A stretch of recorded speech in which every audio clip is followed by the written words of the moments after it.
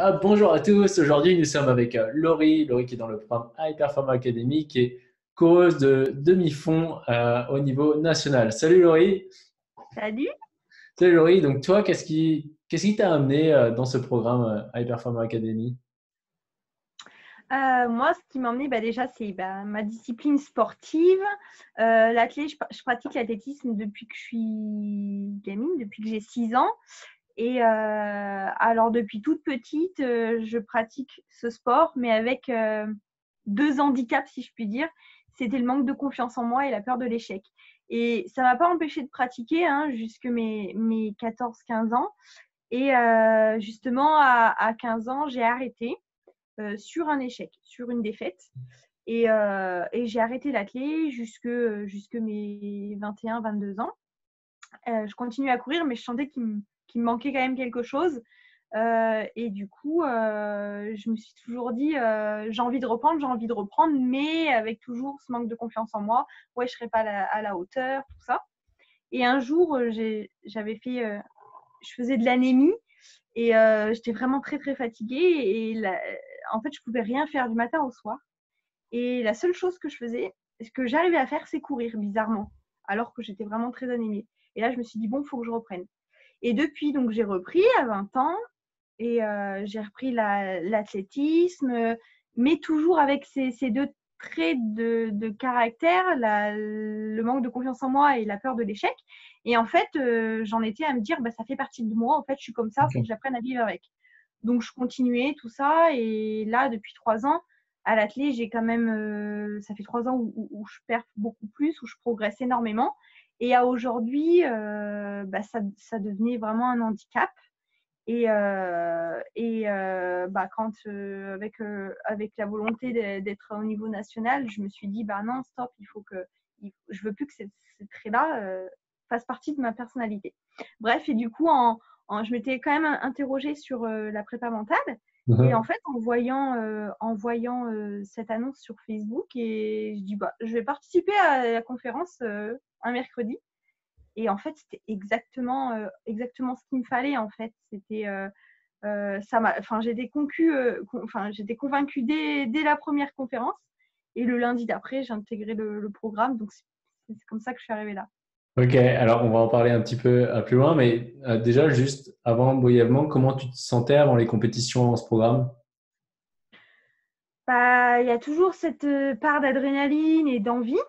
Mmh je l'avais toujours et justement, je m'étais dit, euh, j'ai envie de la garder et pour la garder, il faut que je fasse quelque chose pour pas que ce stress devienne néfaste et, euh, et, que ce manque de confiance en moi euh, devienne. Enfin, je voulais, je veux garder cette, ce sport comme étant un plaisir et non mmh. pas une corvée. du coup, ça devenait limite. Des fois, la avant une compétition, ça devenait vraiment très limite à se dire, même avant les entraînements, à se dire est-ce que je vais y arriver ou pas et me mettre la pression, une pression de dingue euh, alors qu'au final bah, c'est qu'un sport quoi. Tu te mettais la pression mmh, Ouais, trop. Ok, et du coup tu es rentré euh, dans ce programme euh, et qu'est-ce qui s'est passé pour toi depuis? Ben, Déjà en intégrant le programme, une partie de moi, enfin en voyant que, en regardant un peu les témoignages, tout ça, je me disais, ah merde, trois mois, c'est chaud quand même. Mais une partie de moi voulait quand même le croire et une partie de moi me disait, mais oui, c'est possible parce que j'avais envie.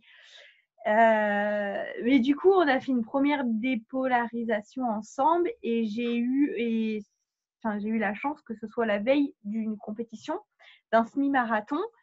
Et, euh, et, euh, à la base, le semi-marathon, c'est pas une discipline que j'aime trop. J'en fais toujours un ou deux par an, mais je suis pas fan. Je suis pas trop voilà, c'est pas trop mon truc, je prenais pas vraiment euh, un plaisir de fou. Et là, le lendemain de la dépolarisation, pompé up sur le semi, un smile du début à la fin. Et pourtant, c'est long, hein, ce mien, mais vraiment un smile du début à la fin.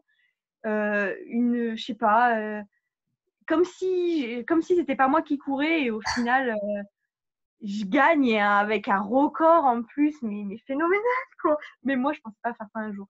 Et avec la première, la première séance, et c'est là que je me suis dit, ah ouais, là, je, je, pense que je peux dire adieu à l'ancienne Laurie.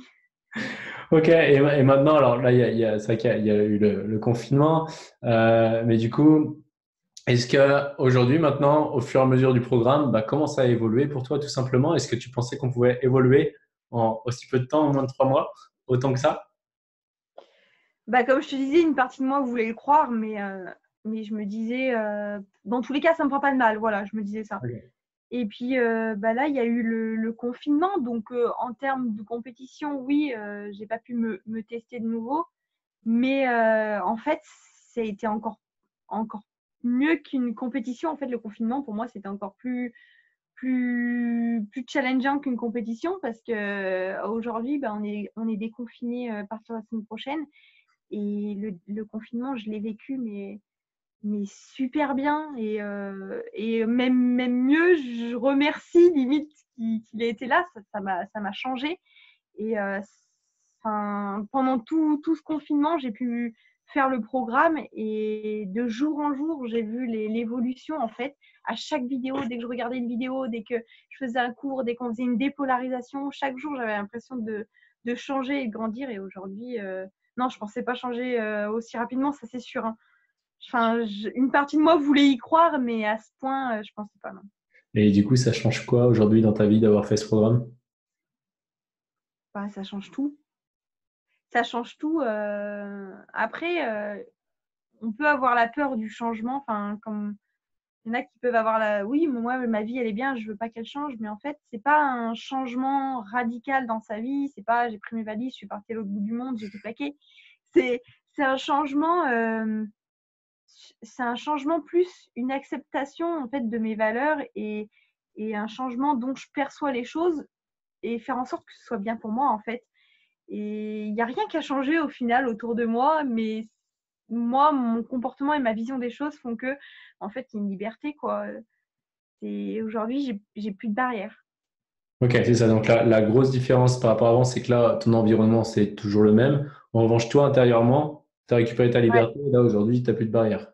C'est ça. C'est clairement ça. J'ai plus de barrières. J'ai plus de. J'ai plus. J'ai l'impression de. Ouais, d'être beaucoup plus libre comme si, euh, comme si j'avais mon sac à dos avant et que là, euh, je ne l'ai plus. quoi. Je suis hyper légère. Honnêtement, j'ai l'impression d'avoir perdu 2 kilos et je pense qu'avec le confinement, j'en ai plutôt pris 2. Mais, mais on se sent plus libre, plus léger. quoi. Ok. Et quand tu visualises dans, dans, dans, dans cet espace-là de liberté euh, tes objectifs?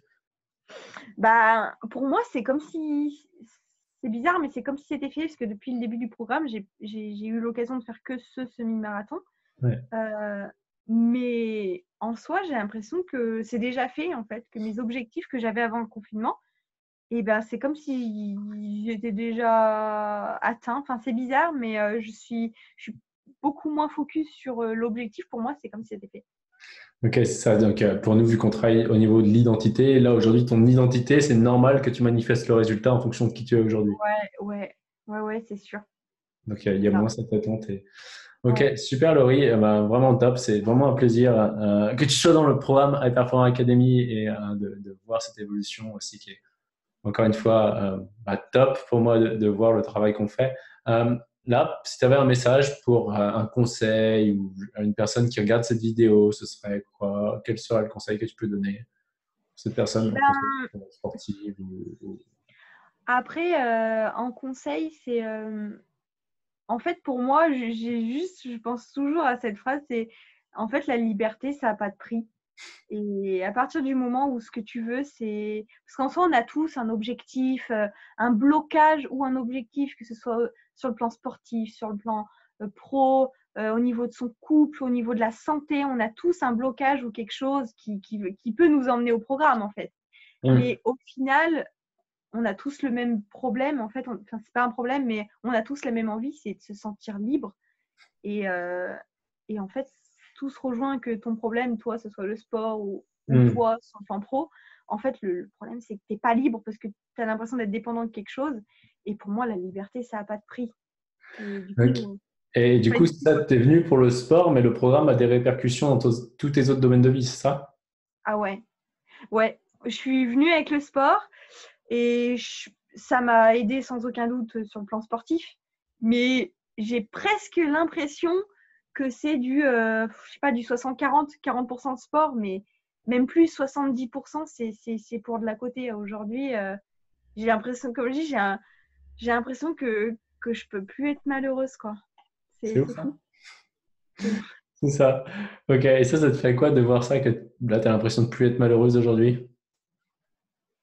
Bah, Un sentiment de liberté. Hein. C'est. Euh, enfin, tu, en fait, tu vis et tu te préoccupes de rien parce que tu sais que quoi qu'il arrive, ce n'est pas un problème. Et ce ne sera pas un problème et que du coup, en fait, tu, tu, tu vis, euh, tu profites en fait, tu profites de la vie.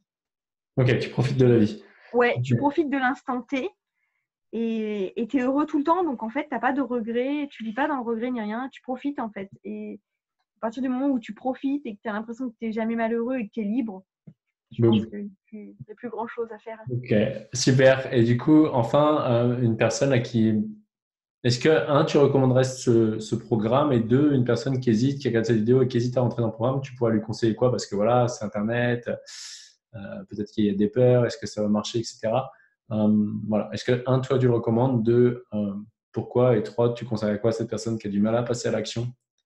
Qui se demande est-ce que ça bah, Oui, c'est sûr qu'on ne peut que recommander le programme à partir du moment où, où ça fonctionne et que ça ne fonctionne pas que sur, sur mmh. soi et que c'est en fait c'est une évidence après c'est sûr qu'au début je pense que euh, sur toutes les personnes qui font le programme, il y en a très peu qui se sont dit ouais ouais j'y vais, ça va marcher, c'est sûr.